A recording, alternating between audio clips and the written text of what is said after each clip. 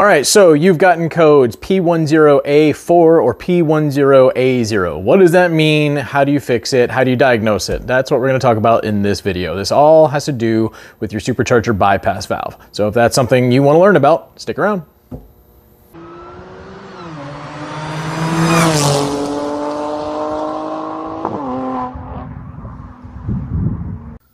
Okay guys, so what is your bypass valve? Where is your bypass valve? And what does it do for your engine? Let's talk about where it's located. Super simple to find. First, remove your rear engine cover.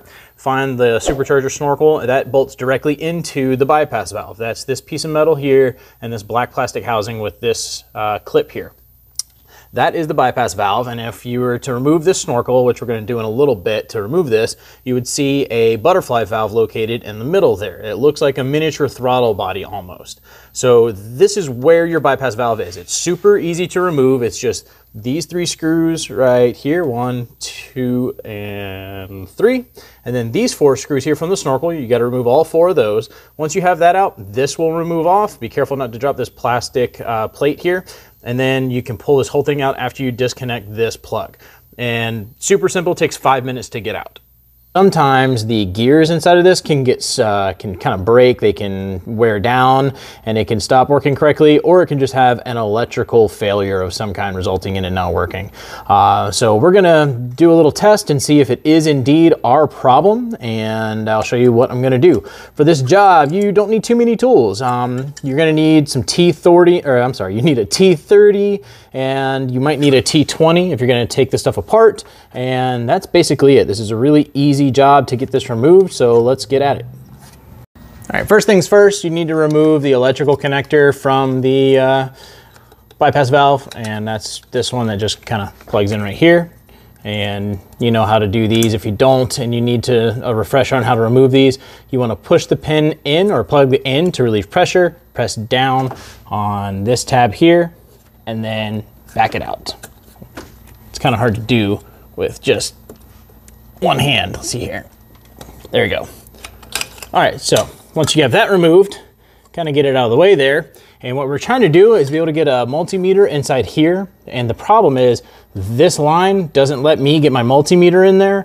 This is pretty stiff. And I want to break it and it's a pain in the butt to get it out of there. So we're actually just going to go ahead and remove this. Plus that'll allow you guys to check out the actual gears if you need to. So you need a T30. We're going to remove three T30s from the actual bypass valve itself, one here, one here, one here, and then we have to remove these four right here. There's one, two, three, four.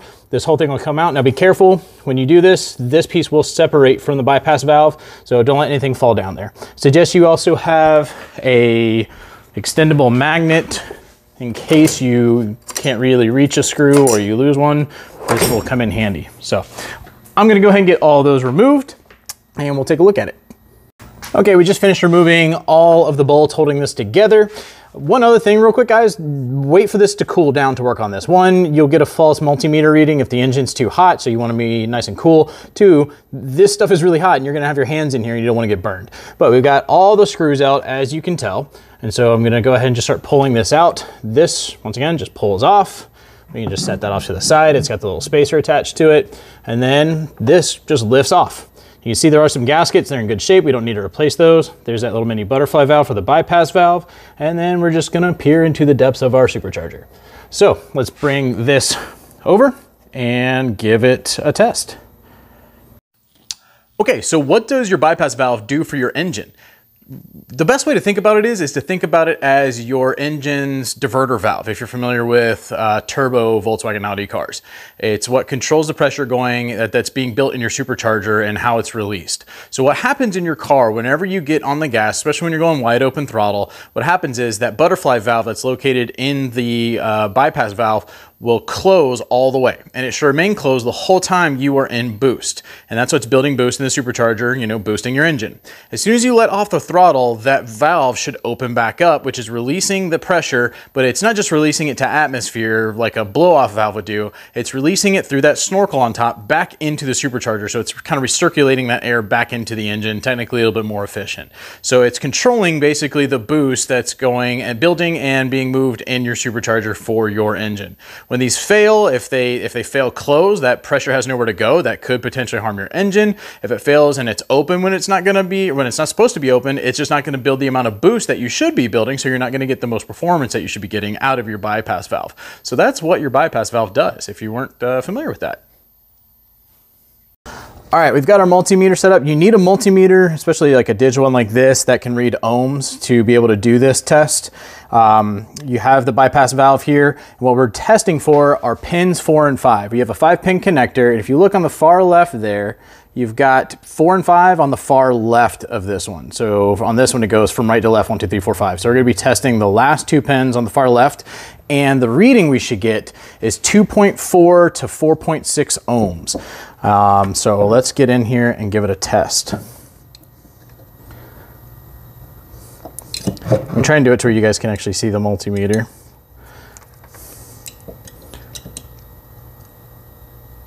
All right, so you can see there it's holding at 7.9. Well, there's 8.8 and it's holding there steady 8.2 or 8.1 there. So mine is well outside of the parameters that it should be. So I have a bad bypass valve. That's what's giving me my codes. I'm gonna go ahead and show you guys how to open this up and check the gears just so you're familiar with it. So uh, let me go get the right Torx bit and we'll get into that. Okay, so to check the gears and make sure they're not faulty, you just need to take off these six screws and they are T20s. So just get in here and take these out.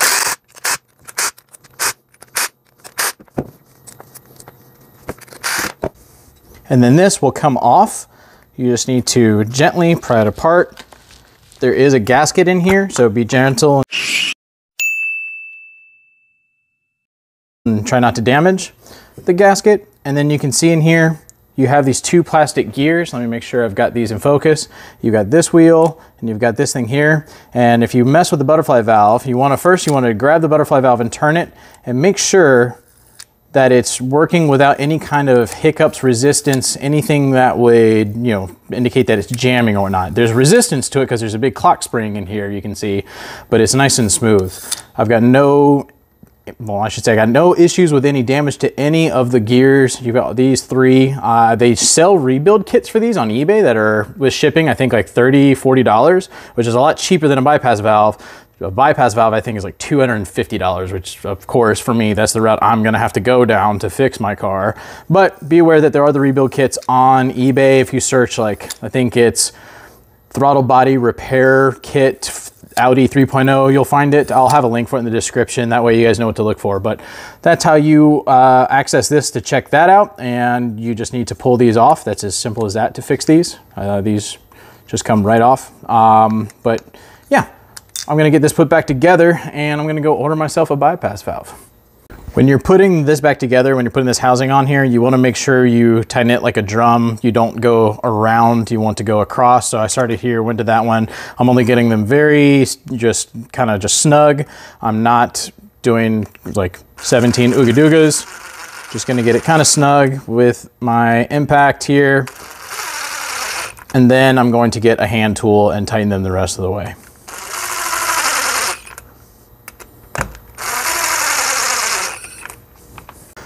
Okay, once you put your housing back on, this just goes back into the car the exact way it came off. Definitely inspect your O-rings, make sure they look good, make sure there's no cracks or damage. Um, and even I used some brake clean and cleaned up inside of this, but I am gonna have to replace this. Uh, but yeah, I'm gonna go ahead and get this back on the car. Whenever you're putting this back together, get everything set in here, get your bolts where they need to go, get everything just a few threads finger tight first to make sure everything's in the right area and seated correctly. Then don't torque down one side and then the other because if you like torque these four down, it's gonna lift this up and then when you torque this down, it might not get a good seal and vice versa. If you get these three torqued down, it'll lift this off the supercharger and then you might not get a good seal here. So get everything started, get everything hand tightened and then go around and evenly torque everything down. I don't know the torque settings, or I'm sorry, I don't know the torque settings. It's not gonna be crazy tight you know, don't send these home with an impact or anything like that. I'm sure you can find the specs online. I just don't have them because this was an unexpected job.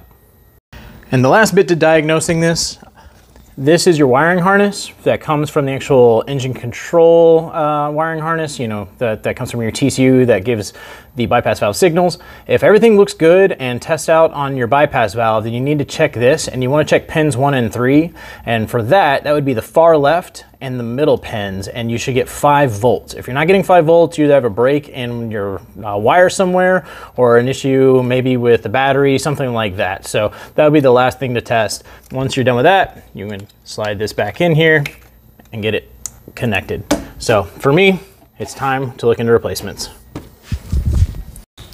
All right, guys, I know this is a short video, but this is a really common issue that plagues the three liter supercharged engines. Once again, that's P uh, code P10A4, P10A0, and maybe some other variations, but what it'll read on the code is, my OBDeleven at least, it said something to the effect of like intake air regulating flap or regulating flap for intake air, something to that effect, and that's talking about the bypass valve. But these codes here, if you search them on the Facebook groups, you'll see that it's just constant bypass valve issues. Luckily, it's a relatively easy fix Unluckily, replacing the entire bypass valve is a little pricey. I think brand new, they're around $250. We're just, you know, I'm gonna look on FCP Euro to see if they have any on there uh, to take advantage of that lifetime guarantee, or I might give the guys at Lifetime Audi a ring and see if they have any uh, used ones laying around. Uh, big shout out to Mark, uh, that is uh, Savage S4 on Instagram. I should have his Instagram handle here. Follow him. He's a 3.0T guru. He's helped out a lot of the C7 guys. He's got a uh, B8 and a half S4 or B8S4.